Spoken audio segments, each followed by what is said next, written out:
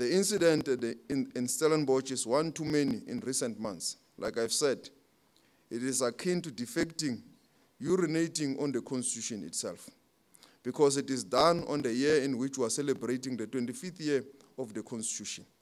These kind of barbaric incidents must be condemned and must be dealt with accordingly.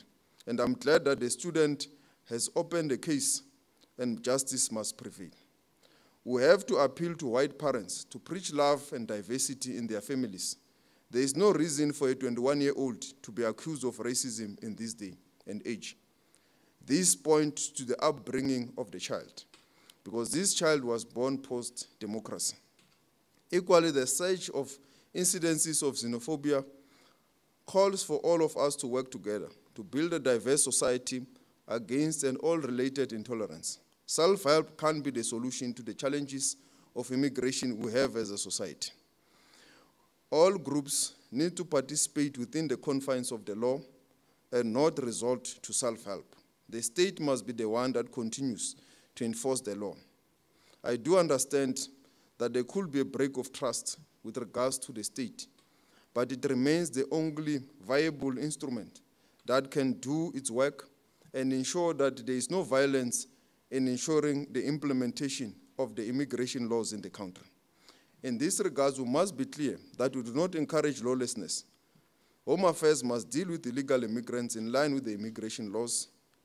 Illegal and undocumented immigrants must be attended to as per the prescripts of the law. There is no country in the world where people just walk in without following any law and without any prescripts being respected.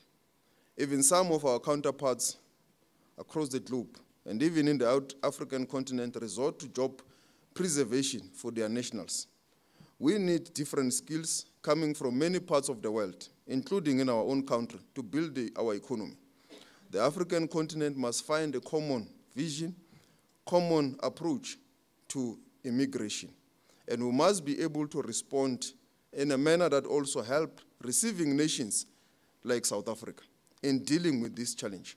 But it does not help when other countries resort to job preservations for their nationals because this then put unnecessary pressure to the government of South Africa, which is a receiving country and which continues to play its role to ensure that there is harmony, there is tolerance, and all skills can be used in our country. And this must be done within the confines of the law.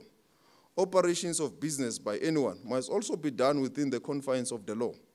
It must be done in accordance with the bylaws of local municipalities and the laws of the republic. You can't have everyone, Tom, Dick, and Harry, opening a shop, a spaza shop, without following the law. The law must be adhered to by everyone. And if we ensure that the law is adhered to by everyone, irrespective of whether it's a South African national or a foreign national, we are going to avoid incidences of self-help by anyone, people who try to take the law into their own hands, including the groups such as Operation Dudula or any other groups. The state must be in the center to create a harmonious society and a society where the law is respected by everyone. And the state need to attend to crime by everyone, whether foreign nationals or South Africans.